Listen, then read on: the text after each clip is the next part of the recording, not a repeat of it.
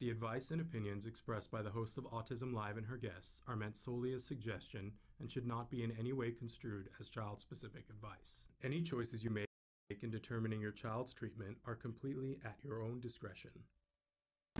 Dr. Doreen Granpeesheh is the Dr. Doreen is an expert in autism. Doreen Granpeesheh. Dr. Granpeesheh. Dr. Doreen Granpeesheh. Dr. Doreen Granpeesheh is a visionary in the field of autism. Now you can ask her questions on Ask Dr. Doreen.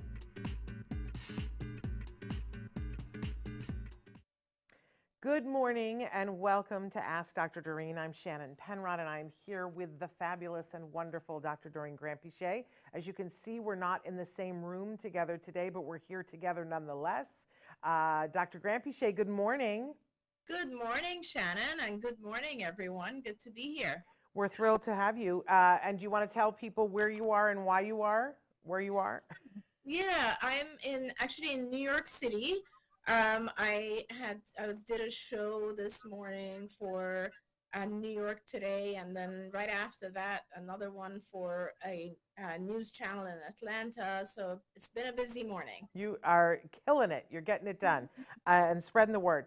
So thrilled that all of you are joining us here with Dr. Granpeesheh this morning. If you don't know her, she is a true expert in the field of autism. She's been working in this field for more than 40 years. Are, are we really saying 45 now? Is that really, or did I dream that? No, we're saying 45. We're saying 45 years now. Uh, a true expert in the field of autism, and uh, she's worked with literally everyone. Uh, on the spectrum from very young babies up through senior citizens and includes the family members and the loved ones of those individuals on the spectrum because I, I just always enjoy getting to spend time with you because you take a very human approach to everything that you do and looking at individuals as individuals and their individual needs and what is important and useful to them in their lives.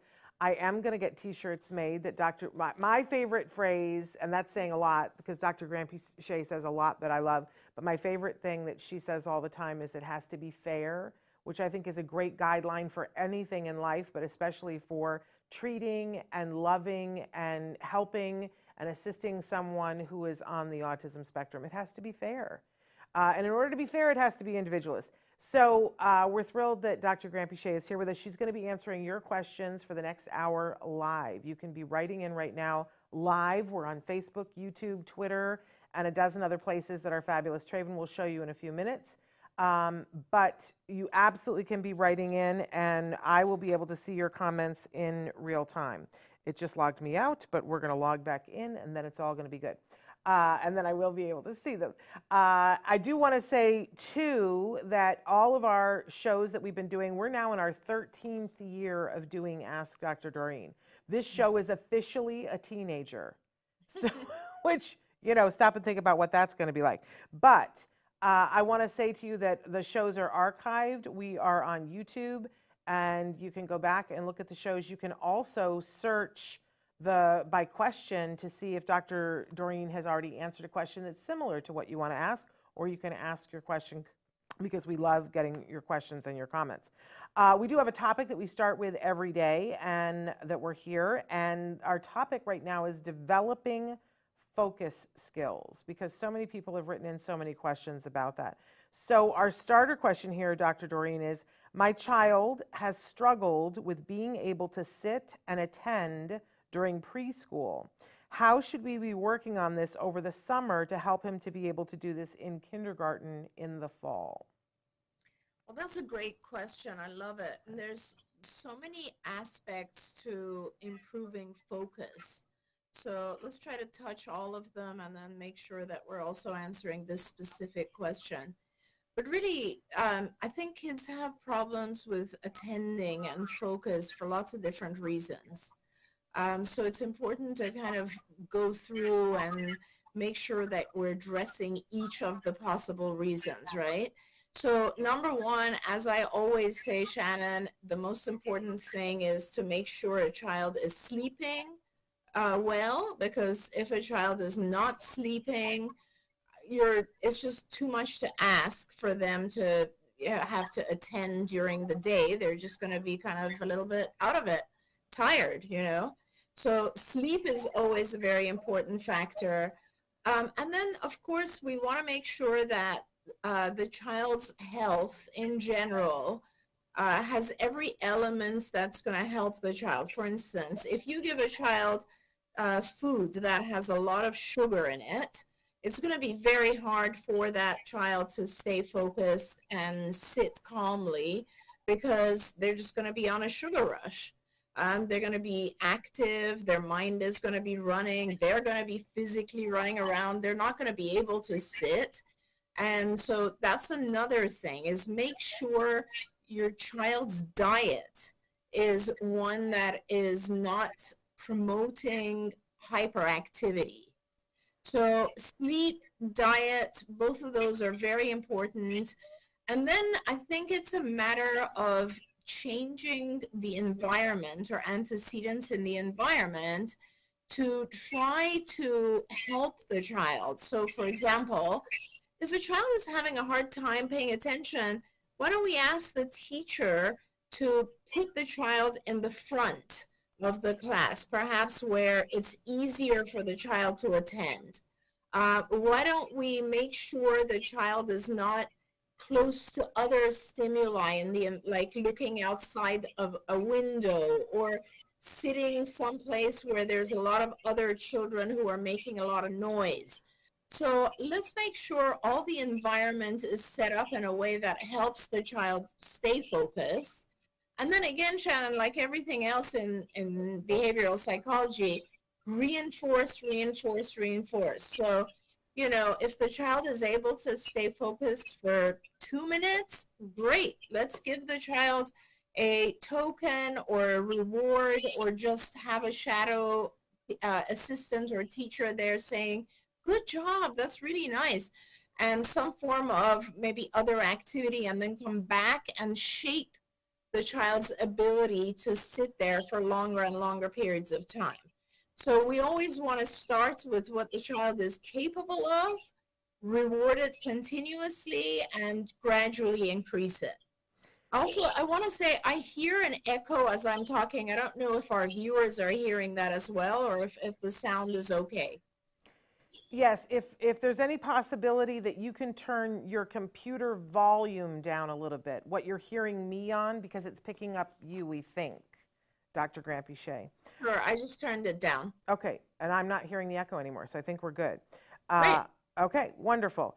Uh, and I love this because I think a lot of times when we're talking about focus, as a parent, we think of what we want to see in the end, which is that at some point our child will be able to sit for you know, uh, and watch an entire movie and not need to get up or do anything, right? Or to right. be able to sit and attend a lecture in college and not to be, eh, not have to get up and do anything.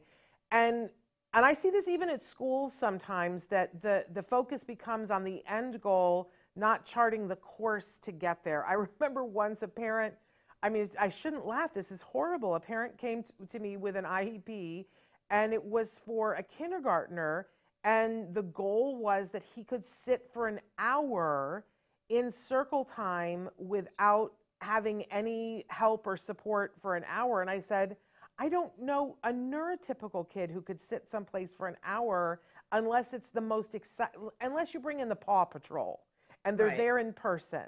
Like right. that's just uh, like we have to have realistic expectations. But I but I I think it's hard for us to realize that we have to be able to start with as you were saying a smaller amount of time and reinforce that and have the trust and belief that like pizza dough that we can stretch that out to longer. I don't think that as parents we necessarily know that. So I love hearing you say that. I think that that's a really important point.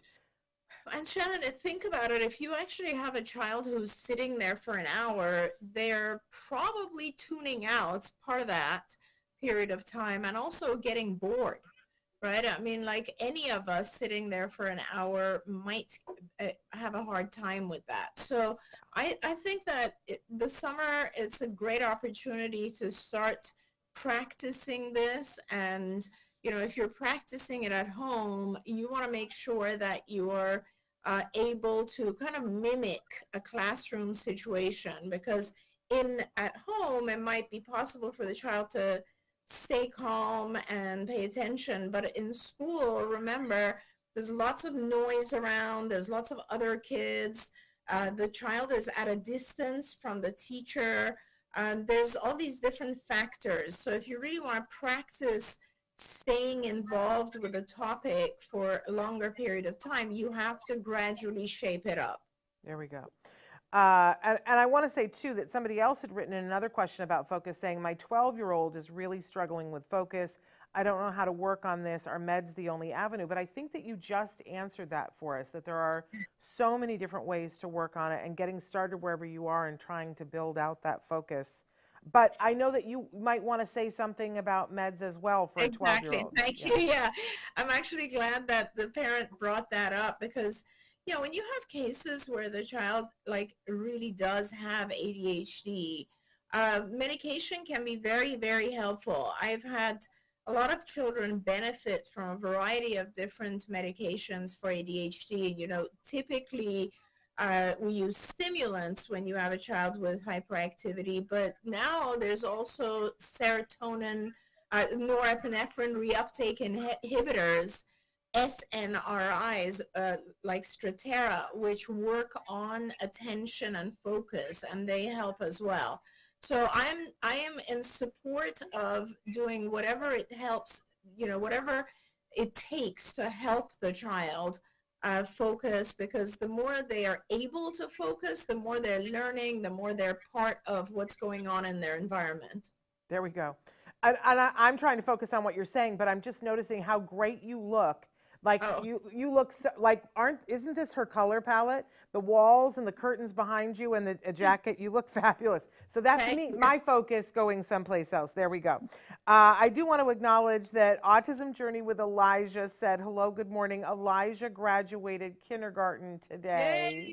Yay, that's awesome. Congratulations. And I saw pictures on Facebook this morning, and I don't know if they were pictures of him getting ready to go or just pictures from before. But what a cutie patootie Oh my gosh, he is just one of those luscious children that you just want to pick them up and hug them and squeeze them. Uh, wouldn't because I'm a stranger, but you know what I'm saying. Uh, and Parker has written in, he's got a question here, but first he wrote in and said for the, the parent whose child was struggling to sit and attend during uh, preschool, uh, his advice to the parent is to hold your child back. What do you think about that, Dr. Granpeesheh? You know, I don't know that holding a child back on its own is beneficial. I think uh, if you want to hold a child back because you have, for instance, intensive ABA going on in the home and you just want one more year to be able to help the child catch up, then certainly that's okay depending on the child's abilities. I hesitate uh, a lot of times because I don't want uh, the child to get bored either. But certainly there are moments in time when a child is really not able to keep up and also they're kind of already, you know, on the younger side, so it doesn't harm them to hold the child back. It really is kind of a, a, one of those decisions you have to make on an individual basis. There we go. Uh, Parker has written in with a question that has to do with focus. He says, funeral etiquette. I have a visitation to go to in a few hours and a funeral hmm. tomorrow. It is a military funeral. A church friend lost his battle with Parkinson's last Wednesday. It'll be a military funeral with gunfire, and gunfire scares me, and I cannot focus for the life of me during solemn times. Please help me. Yeah, I mean, Parker, I think the fact that you're sort of aware of what is coming is a is a great thing because you can prepare yourself. Uh, uh, you know, if you're having a hard time with the sound, uh, you, there are lots of visual elements that'll cue you as to when the gunfire is about to happen, and perhaps you can take some earbuds that go in your ear, and you can actually either just have uh, white noise, which will help you prevent you from hearing the gunfire that loudly, or you can even have like meditation music in the background that will help you calm down as well. Uh, if it's a matter of, you know, just being able to focus during the entire funeral, then I really suggest that you might want to uh, help yourself by having, for instance, something on your phone that you can look down on. A lot of times people are able to focus better when they have what's called divided attention. So you look at your phone and then you'll have another session where you're focusing on the funeral. Um, it is okay if you're not listening to every word that people are saying, you know, in the funeral procession. That's totally okay. I don't think any of us uh, really pay that much attention when we're at a funeral, but it is important to stay calm. I think that's a social behavior that is uh, expected at a funeral is to like stay calm and look at the procession and what's going on. Yeah, I it's interesting because we talked about this a little bit last week with with Parker about, you know, when it's about you and when it's not about you. And and I have to say my mom was the best. That I remember being a teenager and one of the dads in our neighborhood died. And mm-hmm. I was terrified. I cuz we were going to go and um, there was going to be an open casket. We were going to go to the wake, and I didn't know how to behave at that. I was probably 14, 15 years old, and I remember my mother saying to me very clearly, "Look, when when it's something like this, a solemn thing, when when people are mourning, you you really only have two jobs, mm-hmm. and your mm-hmm. job is to physically be there." Right? To physically show up because that makes the person feel comfort that this many people cared, right? And then at some point, if there's an opportunity, um, you know, like there might be a line or something, she said, you don't have to look at the casket. You can walk right by the casket. But your job there is to let the person who, you know, that's the family member that you're, you're or the, the friend that you're there to support, to let them know that you're there. And that means yes. literally standing in front of them, sometimes holding their hand and just saying, I'm here that you yes. don't have to have perfect words because there are no words and that that helped me parker as a teenager to go oh i don't have to solve everybody's grief i don't have to fix anything i don't have to do anything other than just my job is to physically be here and if i can when i walk through the procession squeeze somebody's hand and say i'm here yeah. and that's it and right. for, for me that was very soothing because it's a lot sensory at these yeah. things. It's a lot between the smell of flowers and sometimes there's, you know, depending on where you are, like the gunpowder, all of those things, the gunfire. Um, but I, but I love having the headphones in because it's not your job to listen. It's not your job to remember everything that they said during the the thing. It's you know nobody's going to quiz you afterwards. Um, right. But I love that you're going, Parker, because that's you supporting your community. What a yeah. wonderful, wonderful thing. Did you want to add anything to that, Dr. Grant well, Parker just also wrote that, you know, he really wants to set a good example for the individual's grandson. And I think, Shannon, you just answered that basically. If you were there, Parker, I think that is all you need to do. And that is already setting a good example. You know, funerals are just, you're not, you don't have to do anything. It's a matter of just being there is a sign of respect. And that's important. Yes, absolutely. Um, Brian, we're saying good morning to you, and we're saying good morning to Carolina and Sarah. Sarah, what a pleasure to have you here. Uh, and Susie, good morning. Uh, I want to go to Carolina's question. She says, My son is 18 and chose not to finish high school because he thinks he's not smart enough and can't mm. take it anymore. He just got diagnosed with ASD, but already got diagnosed with ADHD at 12. Mom continues to encourage him to finish, but hoping you have more tips. Thank you for your time, doctor. Yeah, oh my gosh, that's a tough one. So, first of all, I really, really encourage you to continue, um, I guess, prompting him to finish and helping him in any way you can obviously there are other ways that you can get your high school diploma without actually going to school. Uh, th- there are ways you can do it online now. Uh, you can do homeschooling. Uh, you can help him prepare and just take the GED exam. Um, I think it is very important for him, so I support your efforts to try to get him to do this. The bigger issue is that with ADHD and ASD, um, it's hard for him. and so I guess I have to ask, are you doing everything to help him? Is he on medication if he needs to be? Uh, is he receiving tutoring and or ABA?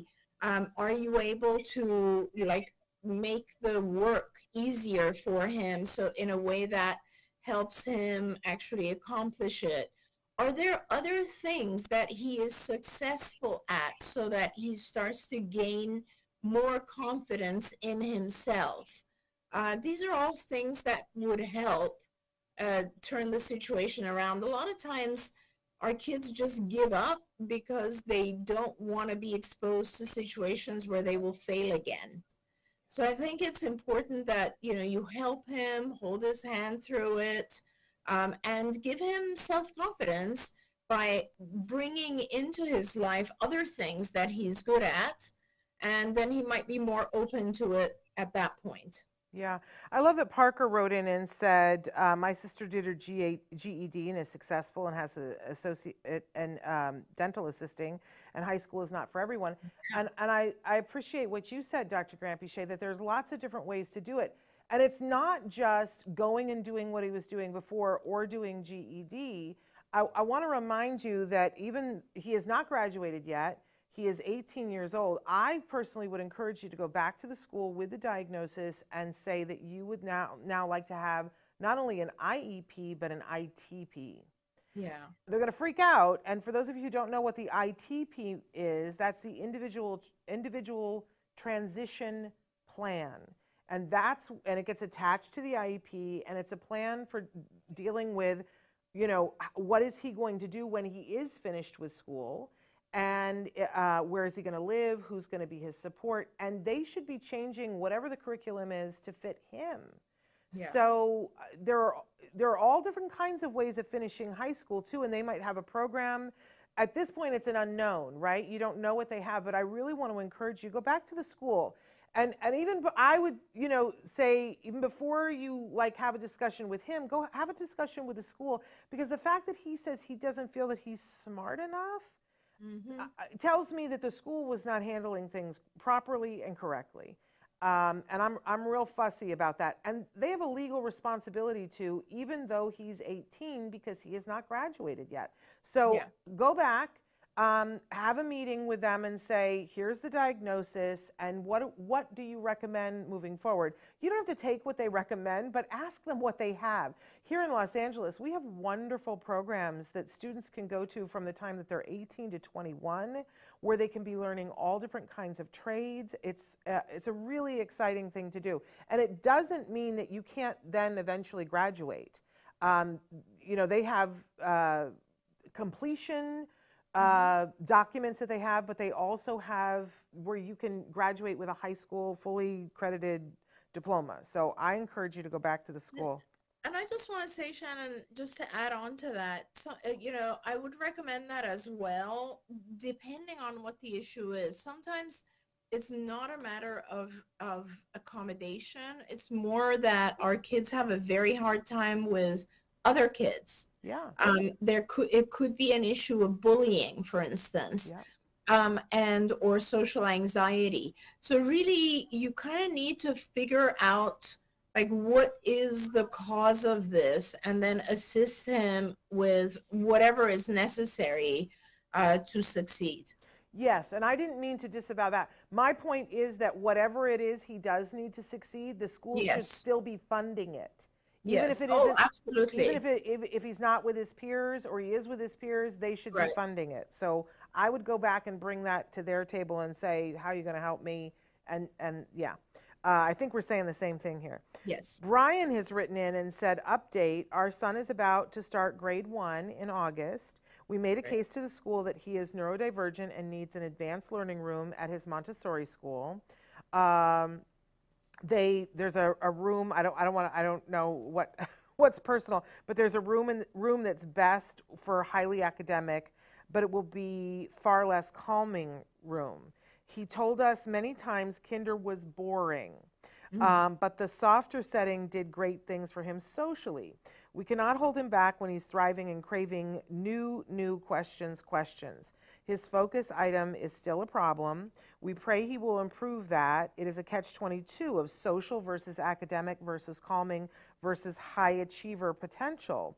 It will be a Montessori grade one through three room. We're both excited about further growth, but fearful he will not be able to cope with the transition. And, and this mm-hmm. is the child that we've talked about before that focusing um, is a big, focusing is the big issue, but uh, the fact that he's saying that he's bored, what do you want to say about all that, Dr. Grant? This is awesome. First of all, Brian, this is awesome. Like, congratulations, and I'm excited for him. Actually, I I understand where you're coming from because I've had a lot of kids at this type of uh, issue, right? Um, and I always, what I've learned over the years is that, like, I you should really encourage forward movement for kids that are saying they get bored because that boredom factor is a big deal. If the child gets kind of stuck in an environment for a long period of time where they're not really challenged or in, given anything interesting, um, they'll start to like occupy themselves with other things and then it becomes very hard to bring them back. So I would really recommend that you go forward but you use the summer to focus on exactly what the issue is. So that means, uh, you know, expose him to more and more distracting, noisy, perhaps situations, and teach him how to deal with it. Uh, you can certainly start doing like things that he's good at, for instance, but go to a noisier place or maybe uh, record sounds from a classroom and put them in the background. Like start acclimating him and ask him questions when there is a noisy type of thing. Like help him to start paying attention. Help him to increase his ability to pay attention even when there's noise in the background. Reward that um, like really give him the opportunity over the summer to practice that a lot of times social behavior with other kids will also improve because the other kids might also be smart like him. And uh, you know he'll find his his group his uh, niche and that's really important. I love that Brian says, I will say we took grand steps to soak in the vibes about uh, room options via, via, via volunteer time. So I think what that means, Brian, is that you guys went in and volunteered so you could soak up the vibes. Uh, and he says, OMG, we had a for, uh, we had a forward selling the principal meet and powerful email follow up. I love Right. that because uh, you know they'll tell you everything that's going on in the classroom and you don't know, right? But if you volunteer, then all of a sudden you have eyes on the situation. You will learn more in one hour volunteering at your child's school than you will at every IEP meeting with what the people tell you. Yeah, It's a yeah. good use of your time. I love that. And he But also, also, like, I think Shannon, it, it's also like I love you know parents that are who are writing in to, today and like they're so prepared and wanting to use the summer months to kind of prep their child, which I think is beautiful.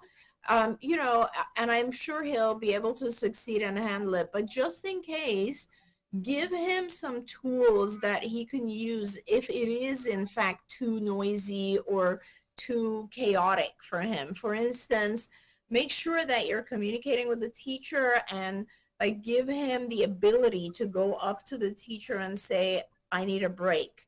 He can always uh, go to the bathroom perhaps to calm down. He can always ask to go to the hallway for a few minutes. Like there's things our kids can do that will help them stay regulated if it's too chaotic of an environment there we go. And he says that they have him lined up uh, for two weeks of a STEM camp this summer. And he says, Thank you. I value your advice. that's Uh, great Thank you so much, Brian. And Parker, I didn't know, Parker, that you were doing computer repair. That's amazing. I'm so excited. I wish you lived closer. Uh, we could always have use somebody on retainer. Okay, uh, uh, Lucy has written in and said, "Wait, you know, strap in, Dr. Granpeesheh, because I'm going to light my hair on fire right now." Um, the school district did an FBA for a five-year-old son with ASD because I requested a one-on-one aid to help him focus. When asked about the status of the data collected and the report results, the response was that they did not collect data since child did not have challenging behaviors. Does the FBA include more than challenging behaviors? My son needs help with redirecting, uh, priming, help with engagement, data taken on how many questions they ask or manding he does or doesn't do. What is the typical timeline for an FBA? What can I do to state my case to get him the support he needs? That's a great question. Thank you for asking it. There's a lot of really good information there. Yeah. So, first of all, an FBA is a functional behavior assessment. Generally, it is done to uh, understand more about why a challenging behavior is occurring. An FBA is supposed to be looking at what are the circumstances around challenging behavior. So, for example, what's happening right before and what's happening right after.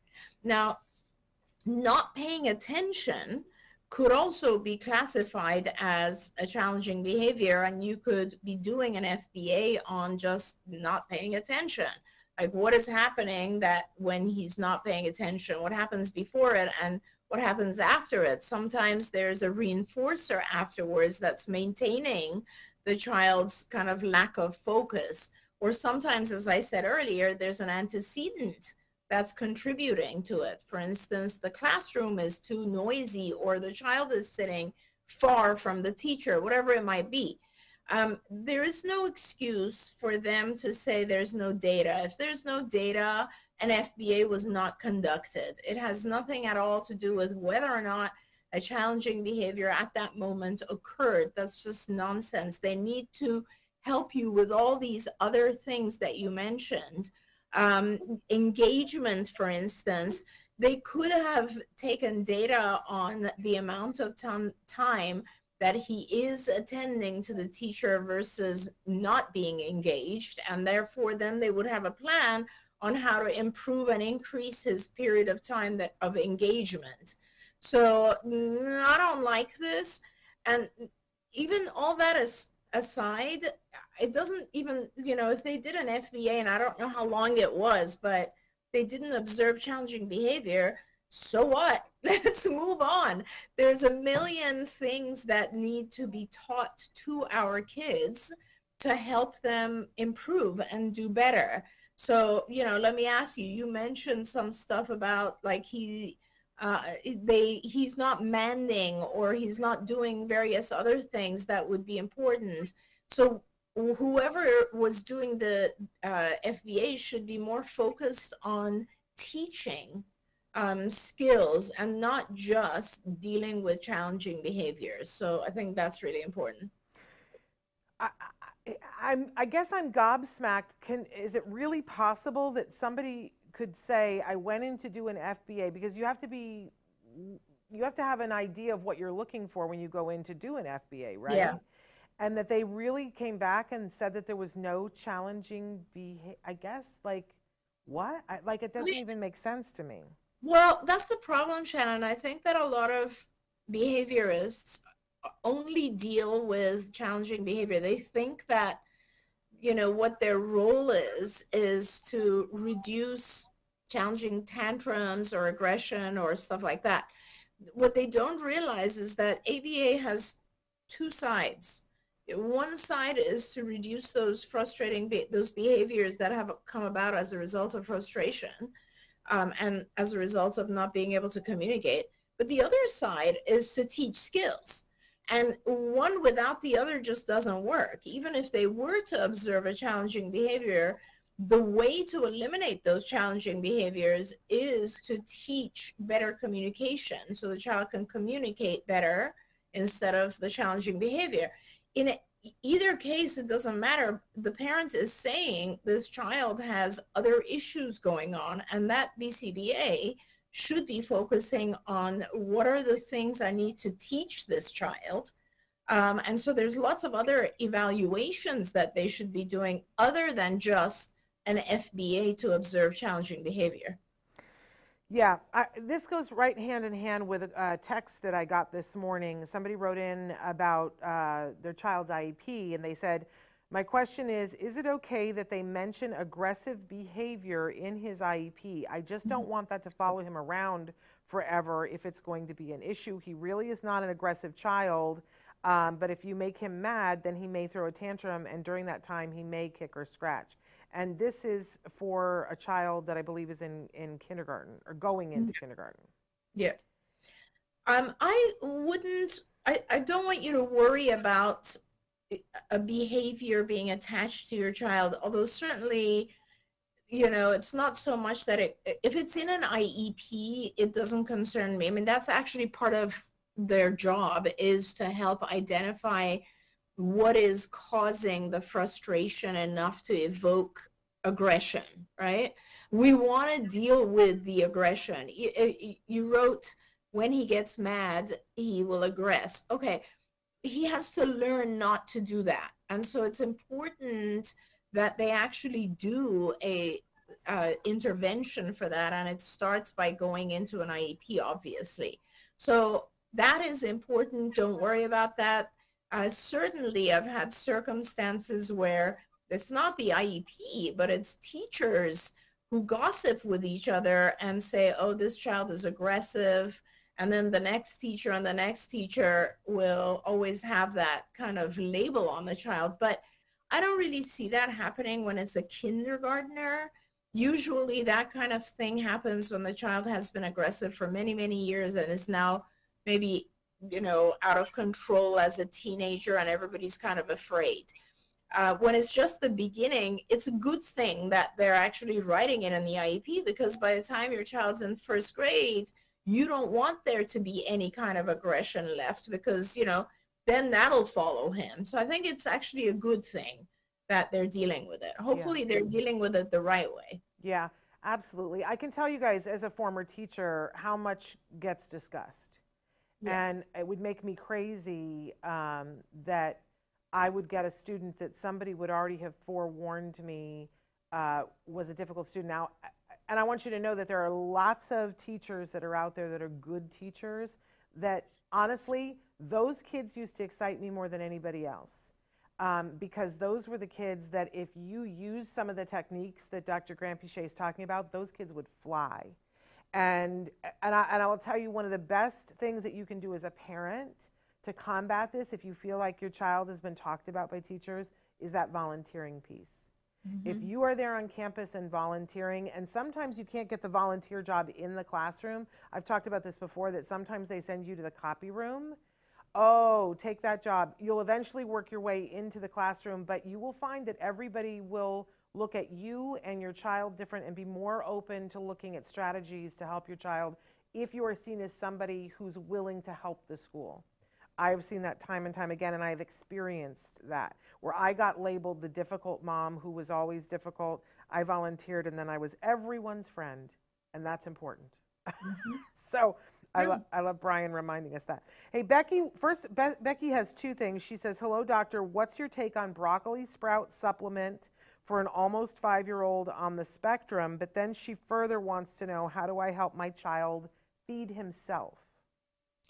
So I know nothing about broccoli sprout supplements. Do you, Shannon? I've not yes. really heard that. Well, I mean, it was a really popular thing a couple of years ago, and now it has died down a little bit. But there's, I'm, I'm not going to remember what the actual chemical compound. There was a study that came out um, that uh, is it sulf- sulforaphane or something like that that we've all noticed the phenomenon that sometimes when kids on the spectrum get a high fever mm-hmm. that suddenly their pathway gets a little clearer and they can speak more when they have a fever than when they can't yeah. and, and they were saying that this is because there's a certain chemical compound and that it exists in broccoli sprouts there's so yeah. many schools of thought on this, though, that you would have to eat so much broccoli sprouts that it would mess up your digestive system. Um, but they've now put it into pills. I would be very cautious about because most of them that are out there uh, are not organic. And mm-hmm. I think putting that much green matter that isn't organic into your child's system can cause other issues with focus. So, uh, you know, I I have not yet. If if I had found a good company that did this organically, that was sustainable, because Mhm. they've come and gone, I would have had them here on the show. Uh, Yeah. But I have not yet. So that's my take on it. But now that probably reminded you of the study, because you probably weren't thinking of it as broccoli sprouts. Do you have anything you want to add to that? Well, I just, I guess the only thing I want to add is that I, you know, it's looking, I, I look at myself and I'm one of those people that uh, over time keeps adding supplements to my own diet, right? And I have probably, I take some, somewhere around 20 supplements every morning, right? And I don't, it, it, and I know a lot of kids who went or are going through or have or continue to struggle with that because we've added one more and one more and one more and after time it becomes like all these supplements. What i really do recommend to parents is to talk to and meet with an experienced nutritionist or dietitian who can help you really figure out what is needed um, you know i'll tell i'll give you an example. Just myself i always felt very very tired. So I started taking this uh, vitamin B12 supplement, and um, it got to a point where my I have a functional medicine physician who would regularly, every three or four months, take a look at my blood, and she came back and said, "Whoa, whoa, whoa! You got to stop taking B12. You're like your vitamin B12 levels are off the charts. You have to stop." and it ended up that you know my my exhaustion was due to other things and and had nothing to do with vitamin b12 so it's very important i think that we understand exactly what's going on with each child um, before we add any kind of supplementation There we go. But then to address her, how do I help my child to feed himself? Right.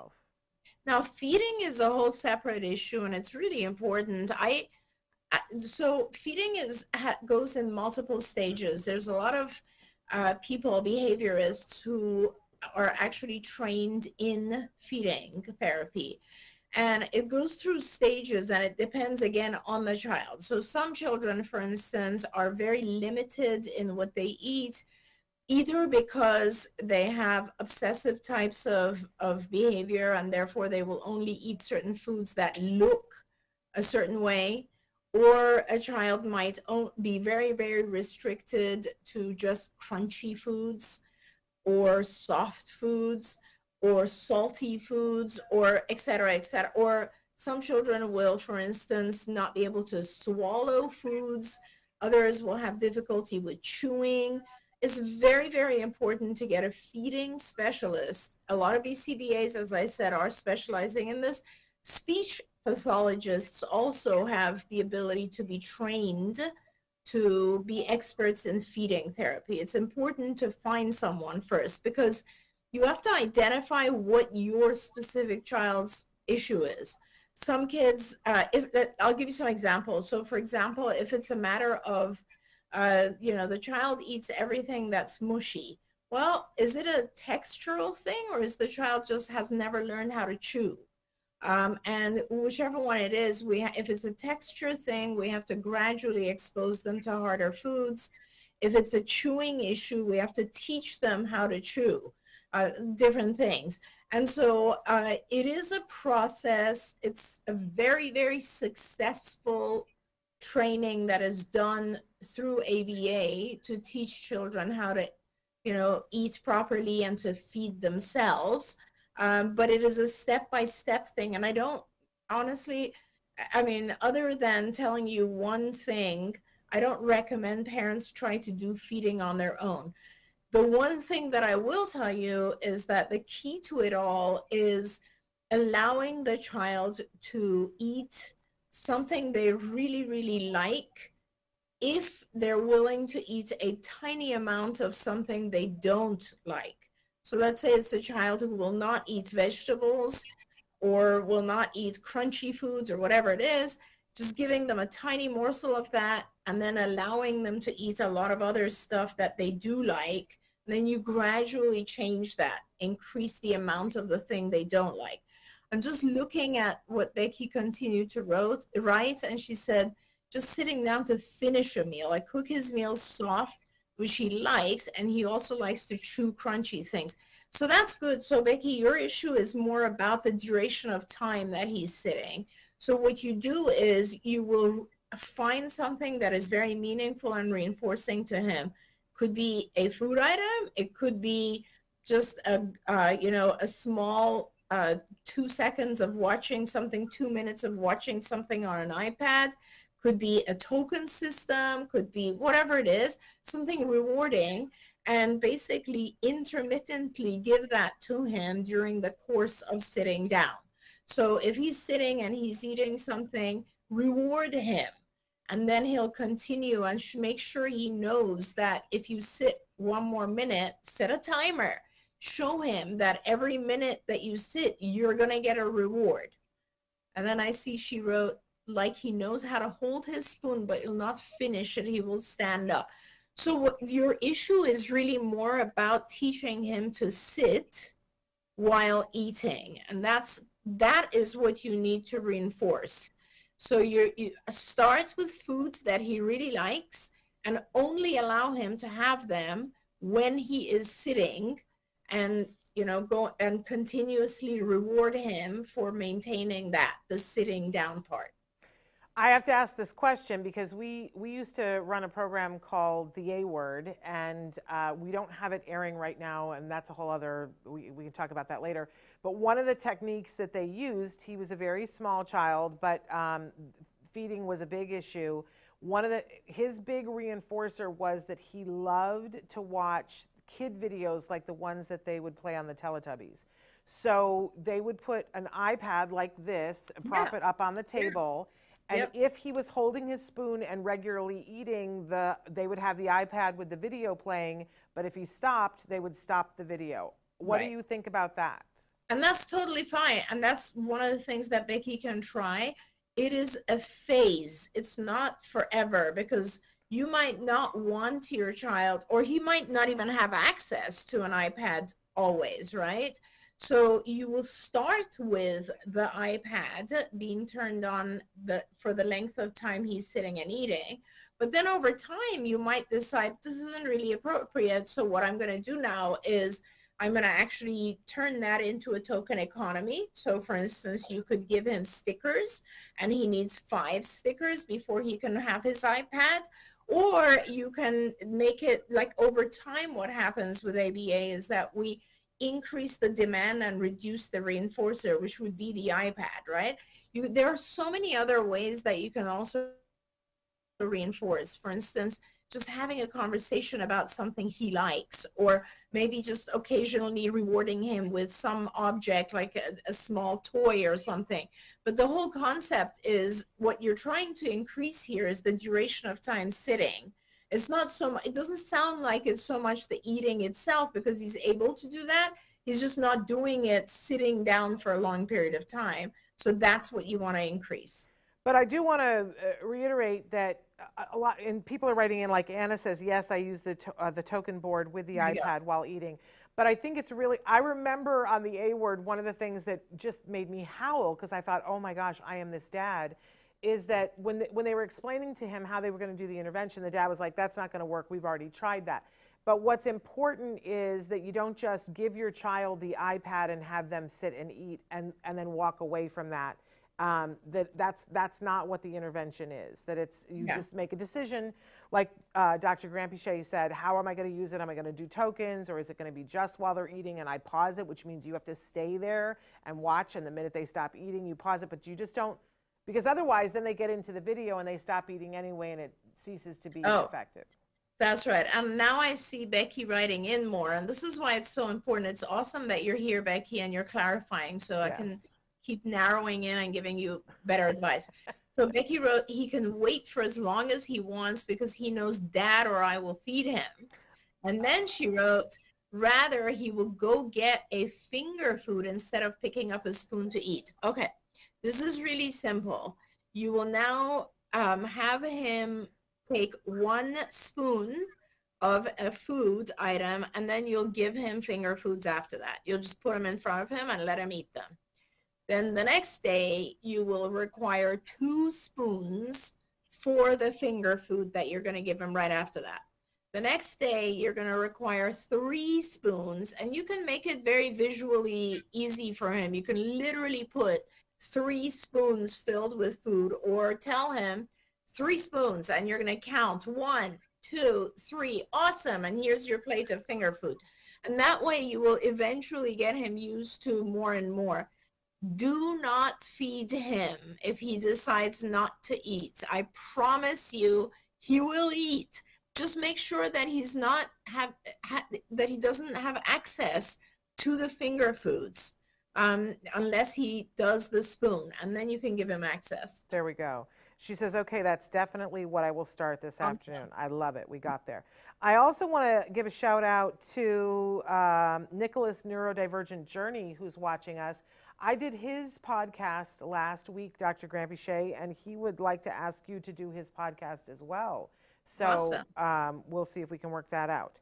Uh, I also want to point out that Parker on Facebook put the link to uh, copaa.org for those of you who are having issues with your IEPs. That's a great place to go if you're looking for an advocate or an attorney.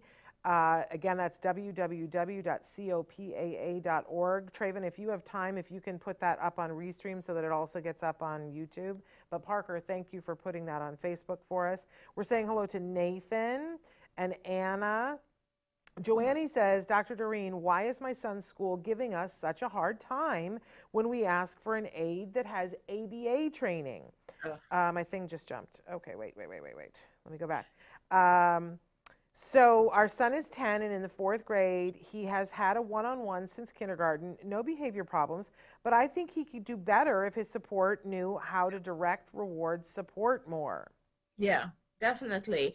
And you're absolutely right. And sometimes, you know, first of all, a lot of the aides from, I will just tell you, and I won't name the district, but I will tell you that we had years and years ago a very large school district contracted with us to provide training for, I think it was some very large number of aides, like 1,500 aides. And I, it just so happened that I knew uh, on a personal level a couple of the individuals who were aides at that district. Um, they were actually parents of ch- of children who were friends with my children, so that's how I knew them. And I had a conversation with those people after we had provided the training, and they very honestly told me, oh, we didn't pay attention at all. In fact, a lot of us didn't even attend. So training for aides, many of the aides that are hired by school districts aren't really trained. They might have some sort of credential that says they are trained, but a lot of them are not trained. Um, so that's one thing. Another thing is even if they are trained, a lot of people in the field don't understand and realize exactly what you said, which is this child doesn't have challenging behaviors. What he needs is support. He needs someone in the classroom to reward him, to direct him to the teacher, to prompt him to continue, to break down the topic for him so he's able to attend better uh, you know, all those things that are called an accommodation. So please don't let them, uh, you know, run in circles. Just keep insisting. And this is where it becomes important perhaps to get an advocate or, or an attorney even. But this is the stuff that needs to go into the IEP, and it's super important because, yes, you're right, Joannie, that your child will do better if they have an aide who's supporting them. Yes. But let's remember that it always comes down to money for them. And so I, I agree completely that it's important to um, lawyer up or advocate up uh, because sometimes if you do that, here, here is the bottom line. If you have an attorney advocate, then they have to bring an attorney with them to every single meeting. And that, the retainer to have that attorney come and sit there at the meeting starts to cost them more money than it would to provide the service yeah. that you're asking for. So don't be afraid to do it because sometimes that's when they know you mean business. I will and remember that you might not, the school might not have an employee who is capable of doing what you need them to do. And that's where the IDEA actually comes in because Free and Appropriate Education Act says that if the school cannot provide you what you need, they have to contract with a private provider of ABA to provide that for you. And this is what's called related services, right? So they have to pay a provider to actually give you a really good aid. And that might be the way that you need to go. And I will say too, they're not going to put that the aid is ABA trained in the IEP. Um, I don't know anybody that's ever gotten that because it, uh, No. it doesn't cover methods um, Right. in the IEP. But y- you can ask for a, a, uh, somebody to train them that's ABA based. You can ask for uh, a consultancy. What we used to ask for is that one of our favorite um, BTs would come in for the first two weeks of school, that they would pay him just to come in the first two weeks of school to train the teacher and get the classroom running and get the aide trained. And that was gold. That two weeks at the beginning of the year would set us up, but we never had ABA in our, in our IEP. Just wanted to say that. Um, but uh, Autism Journey with Elijah has written in and said, Dr. Doreen, I was waiting for an IEP meeting and no one communicated the next meeting with me until I got to the school grounds today for the graduation. They are denying the one to one aid and he doesn't qualify for ESY. It wasn't an official IEP meeting, but 10 people in a room just to tell me no on both sides. What can I do now that he doesn't have a current IEP? School ends on Thursday. So mm. disgusted and upset. Shannon, I would love to email you after. Thank you both. And we can Yeah. absolutely talk after. But Dor- Dr. Doreen, what do you want to say? I mean, that's really upsetting. I can understand. I I- there's got to be some, you know, and, and this is actually one of those things that a lot of schools do where they will just delay, delay, delay until you hit the summer. But I think that there's got to be some recourse, Shannon. Does Bonnie suggest anything when you just can't get the district to give you an IEP? I know for sure you got to put all this in writing, first of all, Yeah. but I'm not sure how you can try to get them to do it before the school ends. Well, I think it's they're not going to do much before the school ends, Yeah. but they cannot spring IEP meetings on you the day of. Um, No. And I do think that it might be time to get an advocate to go in to Yeah. show them that you mean business. And I and I do agree. Sarah has written in and said you need to call an emergency meeting. That's exactly what Bonnie would say that you need to ask for an emergency IEP meeting Yeah. um, and then get and then have your tape. rec- I, I suspect that part of the reason why they threw that at you today was Yeah. because it didn't give you time to say that you wanted to record, and they didn't want them saying no to you recorded because I'll bet they made a mistake. This, I mean, also, it's uh, they know that it's not legal for them to have an IEP without you, and I don't. That's why they probably said this is not an official IEP. But yeah, ask for an emergency IEP, and and hopefully that will get you to move forward. But you know, the bigger issue here is that they want to deny the aid. And obviously, they're also not giving you summer services, which is extended school year services, which is also not okay. Um, but if they have ESY going on, then that means that there's administration in place over the summer. And so you can continue this battle. Yes. But I do want to say, as much as we can fight for ESY, I think that sometimes school shows you that they are not ready for your child. And, Yeah. and personally, I would rather see you get really good quality ABA this summer for him than take their crappy ESY when they don't want to provide him with an aid. Yeah. Um, this is Yeah, this is a child who's considered uh, his visual impairment too. It's Yeah. unconscionable that they are treating you this way. Yeah. And sometimes, honestly, you know, ask for more. Ask for like ABA services to be paid for because that's going to be so much more expensive for them that they will gladly back off and say, oh, no, okay, maybe we'll give you one of our own aids and a ESY or something. But, Yep. You know, so go for it. Absolutely. And I'm happy to talk with you later on today. But I do think it might, for your sake, it might be time to pull in an advocate or an attorney because it's it's so taxing for the parent when that when they start to push. They're playing chicken with you, and it Yeah. doesn't feel good. And uh, it, it helps when you have somebody legally going in and saying, no, you're not going to get away with this. When they start to pull. Really BS moves, and this was a BS move today. Yeah. So yeah. there we go. We're out of time, but I really want to thank Dr. Granpeesheh um, for being here, and we are going to have her next week live. I do want to say that on tomorrow's show, we're doing news and jargon of the day. And then we have Matt Asner and Nava Paskowitz Asner talking about their upcoming poker tournament and a new program that they have at, at their center, which I think will be really exciting for everybody to hear about. Um, so that's happening tomorrow. But Dr. Granpeesheh, thank you. We love you. Thank you so much, Shannon. It was awesome seeing you, and I will be back next week. Yes. And until then, you guys uh, give your kids a, uh, your kiddos a hug from me and one for you too. Bye bye for now. Bye, everyone. Don't forget, you can watch Ask Dr. Doreen live every Tuesday morning at 10 a.m. Pacific time. We hope to see you there.